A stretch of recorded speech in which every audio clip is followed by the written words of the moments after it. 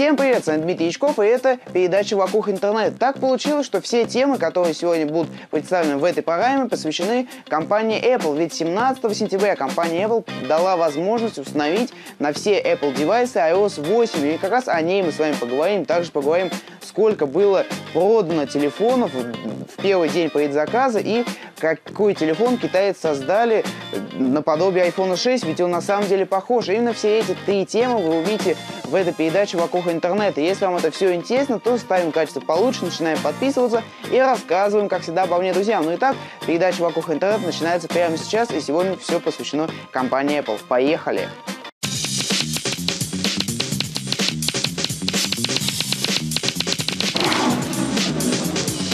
Ну и начнем мы с iOS 8. iOS 8 была доступна для всех, для скачивания 17 сентября. Уже больше из моих друзей скачали эту iOS 8. В принципе, я посмотрел, виджеты еще недоступны, так, так как в Apple Store ничего этого нету, но в принципе есть какие-то закономерности, о которых я хочу вам сказать. Итак, об этом мой следующий сюжет.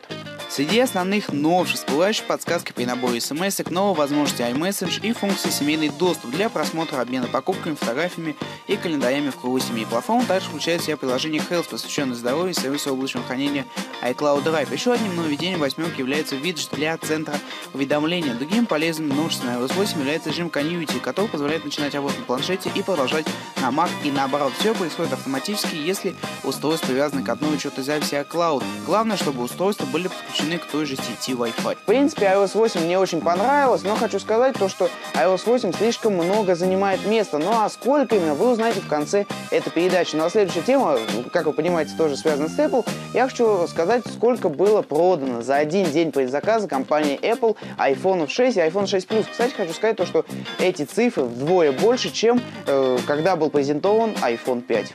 За первый день предзаказа компания Apple продала 4 миллиона айфонов. Такие цифры сейчас висят на сайте Apple. Это в два раза больше, чем было у iPhone 5. Сообщается, что количество заявок на новые модели айфонов уже превысили расчеты Apple. В связи с этим все айфоны не докатятся до наших заказчиков. Но, конечно же, компания Apple оставила себе небольшую коробочку айфонов, чтобы продать их на официальном сайте. И уже за ними можно идти 19 сентября, чтобы купить офлайн. Но люди уже стоят в очереди уже 3-4 4 почти за неделю до продажи в Америке. Вот такие вот цифры мы получили. Это означает то, что люди хотят увидеть iPhone 6, они хотят его первыми получить, и люди готовы стоять в очередях. Миллионы людей стоят еще, наверное, за неделю до PS-релиза, до того, как он появится для продажи. Кстати, он уже появился в Америке. К нам пока что непонятно, когда поступит, но 26 сентября уже будут приниматься PS-заказы. Ну и предполагается, что где-то в начале октября уже айфоны смогут получить все желающие. Ну а следующая тема является, к сожалению, заключающей, потому что всего лишь три темы я нашел самые такие актуальные на этой неделе. Так вот, китайцы создали настоящий копию, настоящую копию iPhone 6. В чем он заключается? То, что дизайн абсолютно похож, что посмотрите, ну мне кажется, вообще копия, ну ничем не отличается. Но отличается тем, что там все-таки стоит не iOS 8, а Android, но все-таки ничего не лагает, все плавно работает. И если честно, цена очень маленькая. Ну а цена всего 140 долларов. Мне кажется, это очень мало для такого телефона с такой диагональю. Новая разработка китайских умельцев Sophone 6 один из самых удачных подделок, имитирующий iPhone 6. На первый взгляд устройство можно принять за оригинал, поскольку не только корпус, но и интерфейс операционной системы почти полностью повторяет iOS 8. Смартфон построен на базе 4-ядерного чипсета MediaTek и оснащен сенсорным 4-7-дюймовым дисплеем, 4 гигабайта встроенной и 1 гигабайт оперативной памяти, двумя слотами для сим-карт, а также двумя камерами. Основная 13 мегапиксельная и фронтальная 5 мегапикселей.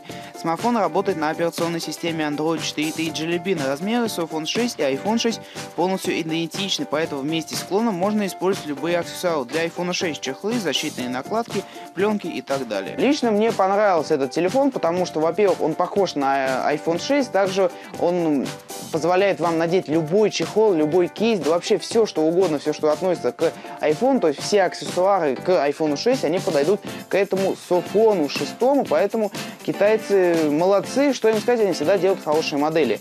На этом у меня все, но я сказал то, что скажу вам, почему не стоит устанавливать iOS 8 на четверку S и на другие платформы. Во-первых, э, данная операционная система занимает очень много места. Если у вас 16 гигабайт встроенной памяти, то, как вы знаете, расширить никак нельзя, то сама, само обновление iOS 8 занимает 1,3 гигабайта. Но на самом деле оно занимает намного больше. Но обо всем этом, о технике Apple, об iWatch, много разных приблуд я расскажу в ежесредельной передаче «Поговорим», которая будет в эту среду, которая у нас будет, это естественно. Так что заходим на канал в среду, около часа, думаю, ролик выйдет. Так что будет очень интересно. Мы с вами поговорим о компании Apple, об iWatch, об iPhone, также об iPhone 6 Plus. Я подготовлю интересный материал. Надеюсь, он вам всем очень понравится. На этом эта передача подошла к концу. Ну, как хочу сказать, как всегда, подписывайтесь на канал, пишите свои комментарии, оставайтесь вместе с нами, рассказывайте обо мне друзьям. Ну и ставьте лайки, большие пальчики вверх, они мне очень симпатичны. На этом у меня все. Традиционный ролик, и я хочу сказать только всем пока.